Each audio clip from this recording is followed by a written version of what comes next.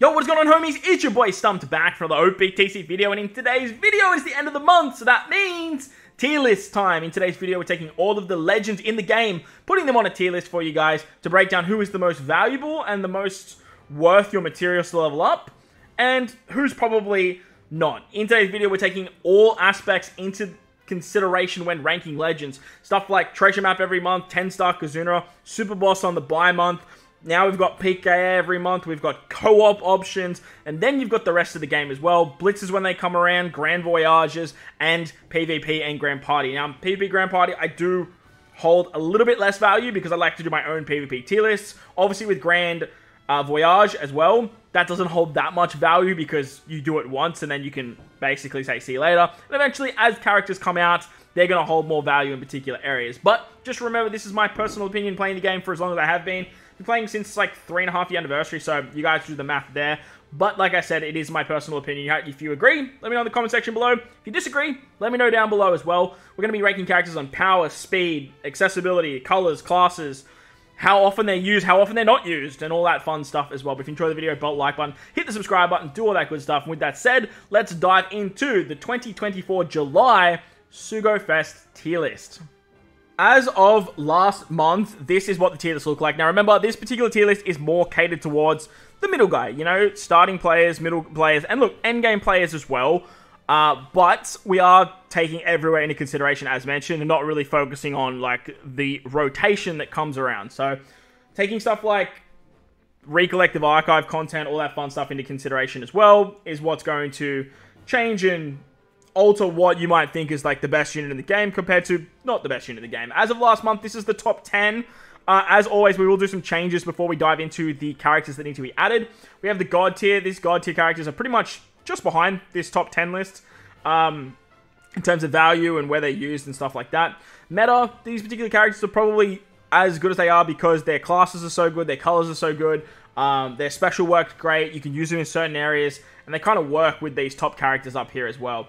As for ST captains, ST captains are all really much, just pretty much used as a captain option, not necessarily used as a sailor or a substitute, because that's where this S tier sub sort of comes into play. Next, we've got S tier level limit break. LLB stands for level limit break, which means that you need nine extra copies of the character to make them their full potential, and that's sort of where they fall when it comes to this particular tier list. As for PvP focus, I did want to include the own PvP tier because, like I said, this is a tier list that is catered towards everyone. Um, so these particular characters, if you level them up, you're pretty much only ever going to use them in PvP nowadays. There's not really an area where these characters shine besides the PvP game mode. And obviously, I'll do my own PvP tier list for you guys to showcase what works best on what teams and whatnot as well. A tier captains, obviously not as good as the S tier, A tier sub, vice versa. Just they, you sort of just make your way down. As we get lower and lower on the tier list, the value of the character sort of diminishes, and you probably won't use them here and there. Support tier, these characters all have very, very good supports, and I did want to sort of label that over characters like up here. Honestly, nowadays you're probably down here in support as well. Uh, like I said, we will do some um, we'll do some fun stuff when it comes to changing these particular characters around as well. B tier subs, like again, these guys are falling off. You do have some great Grand Voyage options though, so like that's what I mean by like say Vivi Rebecca, who's just essential for one of the Grand Voyages, finding a way very very low on this tier list.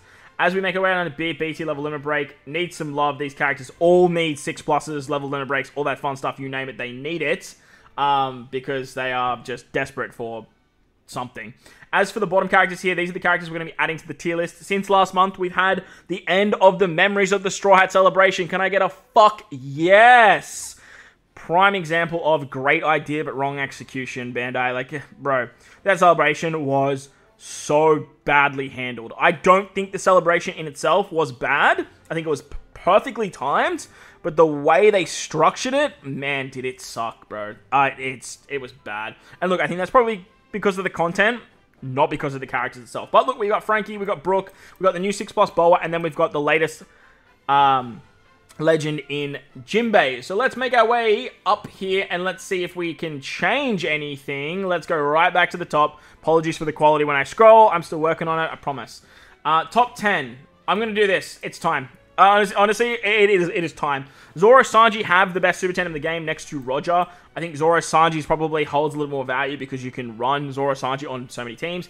Don't get me wrong, I still think that this guy as a captain is the best option, but Zoro Sanji to have the value of Zoro Sanji owning your own Zoro Sanji they're the best character in the game, man. I, I I said it on my endgame tier list from like day one. I'm now saying it in the every every everywhere tier list. Don't get me wrong, this guy's still very very good. If you are a newer player, keep him at the six star. This guy here is gonna fall back behind the anniversary exclusives. I don't see an area where I run this guy over this guy. It just it there's not a place for him anymore like he used to with his crazy rush ability. You can still use him, don't get me wrong, but nine times out of ten, I'm going to be using Shanks. I, I, said it, Shanks is better. I, I, think Shanks is, whoop, I think Shanks is way better. Um, the niche capabilities that Shanks has to bypass barriers and get through 10 turns of damage reduction, all that crazy stuff. But look, this guy does it with his EX, so that's why I think he's a little bit better for the, the, the average Joe.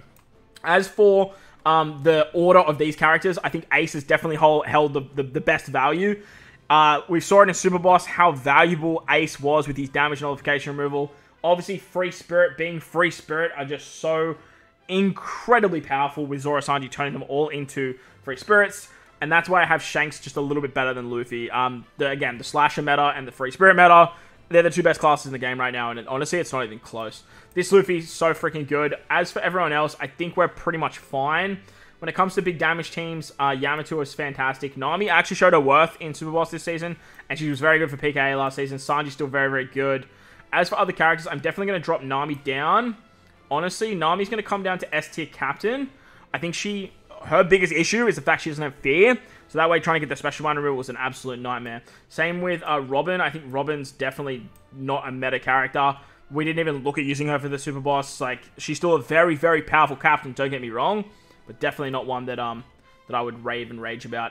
As for Chopper, he's going to come down to S tier sub now. I'm not ever really using this Chopper as a captain. You can do it, don't get me wrong, but you're not really ever doing it. Um, old mate Burgess to come down to A tier captain. That niche ability of the attack down below a certain chain or whatnot is just fucking trash, man. I don't even care. I don't care what you say. Just rage, rage on and on about him, but like for all I care, because he's just he's not getting anything higher. As for Sabo, I'm gonna bring Sabo down to sub. Um, his auto proc's nice but it's a bitch to get. It's it's so finicky. Like it's yeah. You, use him as a sub though. He's a very very good sub. Uh, as for everyone else, I think Law. Oh, he's got paralysis removal. That's pretty cool. Um, this Blackbeard's still very good. I think this Luffy has definitely seen his time. Not that he had too much of a time. I'm definitely going to bring Toki back up into the meta, meta tier. Toki has that sort of same potential that um, Mancherry has. The reason I want to bring up Toki is because in the Super Boss, bypassing the action bind ability, it was clutch, man. It was so fucking good. It was ridiculous how powerful it is. S Snake showed her value in Super Boss, how good she is. Bonnie's still fantastic. I think Atlas can still hold her own with um the um attack down removal. As for Chopper, oh, look, I'm gonna bring Chopper down to meta because you can use something like this to get around Pain. But like, trust me, when Pain comes around and it's a nightmare, this guy is gonna show how valuable he actually is. Actually, I'm gonna do this because like Chopper as a captain is irreplaceable. Like, there's no one that'll do what Chopper does as a captain. Um, as for everyone else, Usopp was pretty good, but like, I don't really rate him all that much. Um, the set target ability is great, but like, like Cross Guild just does it way better with that triple special activation. As for this Shanks, I'm gonna bring him down to S tier captain. Special reverse is nice, but like, let's be real, that we're using, we're using um, what's his name? Um, we're utilizing Ace. I'm going to bring Odin down into ST level limit break because I'm, I'm not going to lie, the only time you're using Odin is uh, either in PvP or when you're using him with his level limit break now. So it, it kind of is what it is. These two, are like these four four units here, actually these six units really, uh, seven units. really. Yeah, like look at look at all these good six plus PvP characters, man. They they're just, it's just it's. Oh, I love when they make uh, six pluses into good PvP units. It tickles my pickle. Um, as for this Yamato, not bad in PvP, but look, really needs the level limit break to be anything nowadays. The Psy Yamato definitely still holds her own, but as for that, not so much. Um, Roger's still fantastic. Big Mom still fantastic. Um, these sub characters, like Robin Jinbei is pretty much used every single PK. Like, it's fucking ridiculous. Uh, Kid Law, I mean, bro, I don't even know where to put Kid Law, man. Kid Law is literally just a sub nowadays. Like, they're good for big damage teams, but they don't provide anything else, man. It's it's upsetting. Same with um this guy. This guy sucks, man. I use him in treasure map, and if you get him, you'll use him in PvP, and you'll use him in treasure map a lot. But like, like I don't. I, want to put him in PvP because that's like the only place I would recommend leveling him up for. Again, you can use him in treasure map. Don't get me wrong, but he's not like an essential character to level up for treasure map. Um, as for everyone else, I'm pretty happy with everyone else actually. Robin, Koala, fantastic. Yep, Momo could probably be dropped, but we did use him in Super Boss actually, and he was very, very good.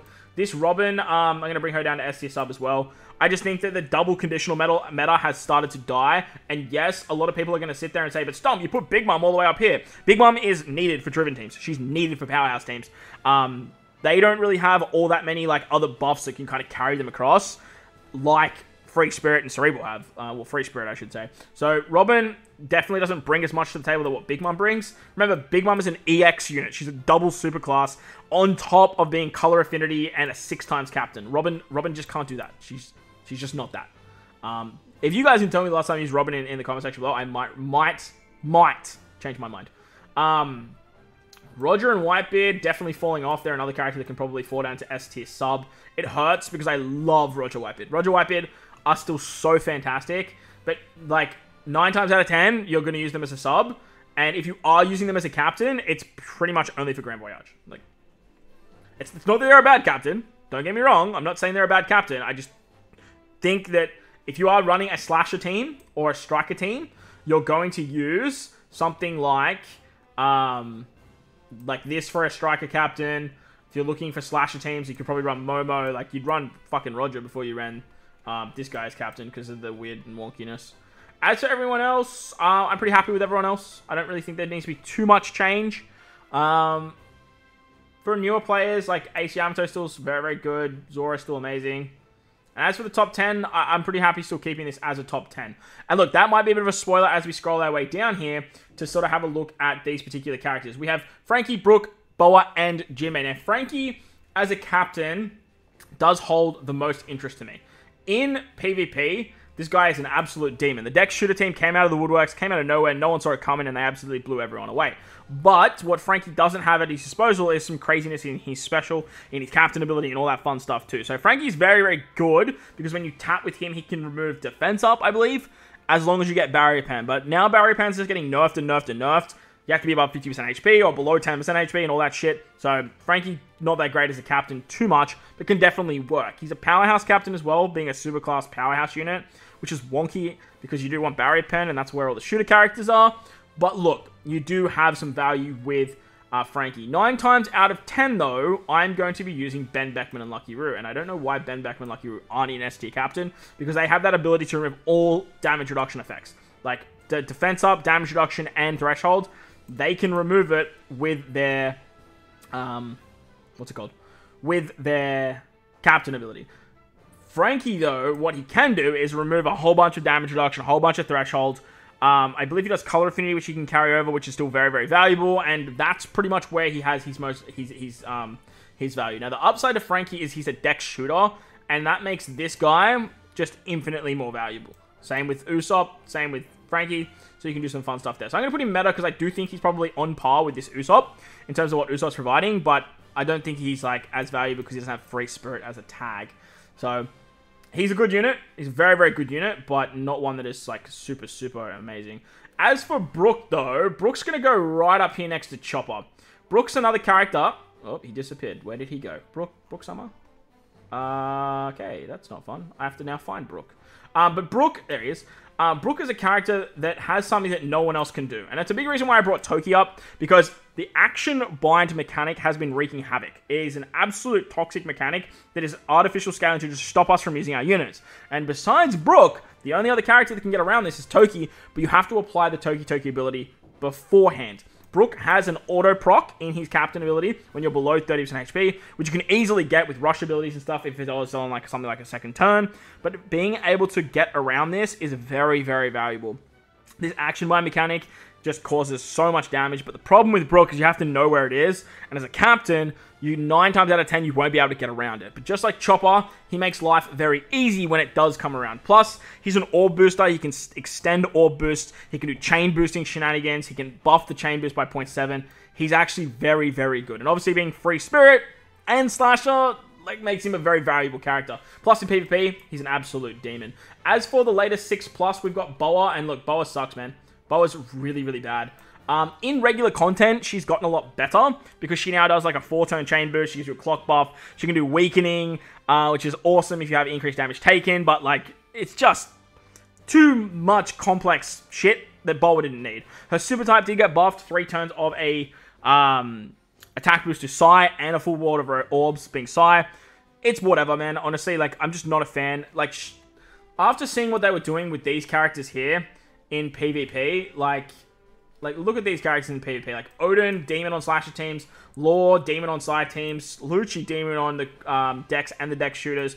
Kaido on Quick. The Cerebral Int team. Even running stuff like Rayleigh on Slashes. Shanks Crew on Slashes. Tesoro on the Driven team. This Shanks on, again, Cerebral when you're taking on Psy. Hell, you can run Luffy and Ace, plus Nami Robin in, in um, Grand Party. This Pudding, for example, is fantastic. So, I don't know where the fuck they went wrong when they were making this Boa and what they were thinking when they gave her not only her PvP abilities but her regular abilities. So I don't know, man. She's just in my eyes, she's not good. Like she's just not a good level break and not a good six plus. Um, but like she will have value somewhere, like this guy does. You know, like this guy's still like good, but like you're just never really gonna run him too much. As for the final unit, we've got Jinbei, the Jimbalias. Um, Jinbei's actually pretty good as a captain he's kind of a demon in the terms that he removes Special Bind. Any captain that can remove Special Bind, in my eyes, is freaking amazing. Um, Special Bind is one of the most annoying abilities to get around, especially when you have like Fear thrown into the mix and whatnot. So having Jinbei remove that is amazing. He gives 90% damage reduction. He's a free spirit character, which is fantastic. So that means you can give 90% damage reduction to a character like this that can go absolutely bananas with the final tap. Um, or you can use this particular character as well with their final tap and just go crazy there. You could use something like this Yamato on, uh, Yamato on the same team to actually get damage reduction buff. And then that 90% goes to the absolute wazoo. Plus, he can have he has a very interesting ability where he can um, increase buffs.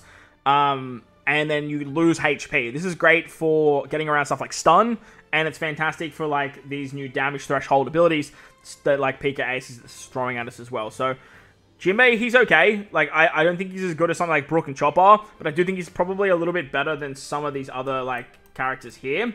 Um, and look, just looking at where I ranked them last time, I do want to actually keep him an S tier captain because he's probably going to hold most of his value as a captain. If he's got um, stun removal as a sailor, which I haven't checked, he might hold some value as a sailor. Um, but for what he does, he just gives fear, which is not like exceptional. Oh, he gives the sorry weakening effect, which is not exceptional. Like it, it just sort of is what it is, unless you have increased damage taken. Um, and then he can do like chain multiplicative stuff, but most of the time you're gonna have this unit here doing that for you. So there you guys go. That's the tier list for the end of July 2024. Hopefully you guys enjoyed the video. If you did, but like button, hit the subscribe button, do all that good stuff. Most importantly, if you guys are in this beautiful world, please remember to enjoy the rest of your day. As always, homies, thank you all for watching, and I will catch you all in the next one.